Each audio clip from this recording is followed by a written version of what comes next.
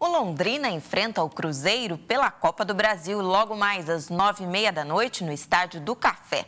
Por isso, nós vamos para lá ao vivo conversar com a repórter Larissa Trevisan. Larissa, uma boa noite para você. Como é que está a movimentação aí nesse momento? Muito boa noite, Patrícia. Boa noite a todos. Olha, a movimentação ainda é pequena porque os portões ainda não foram abertos para os torcedores. Eles serão abertos às sete e meia da noite. É, tem ingresso sendo vendido aqui, portanto, quem ainda não comprou, corre para cá que ainda tem chance de assistir essa partida que marca a volta do Tubarão aqui ao Estádio do Café, que estava fechado desde novembro. O estádio passou por reformas e teve o gramado trocado. É, o Londrina vem embalado para essa partida porque ganhou a final do interior no último último sábado contra o PSTC.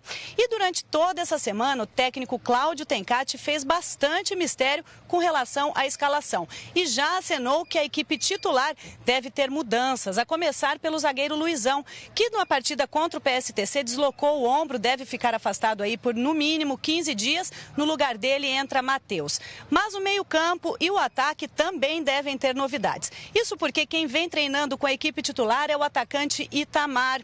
Mas é, lembrando ainda que o técnico Cláudio Tencati já tem à disposição dele o lateral direito Igor Bozel e o atacante Jô. Duas recentes contratações do time que já estão com a documentação regularizada e podem ser as novidades aqui para essa partida contra o Cruzeiro. Já o time mineiro desembarcou em Londrina, ainda sob o comando do técnico interino Geraldo Delamore, que tem bastante, des, bastantes desfalques importantes. A começar pelo atacante Rafael Rafael Silva, que foi o artilheiro do time nesta última temporada.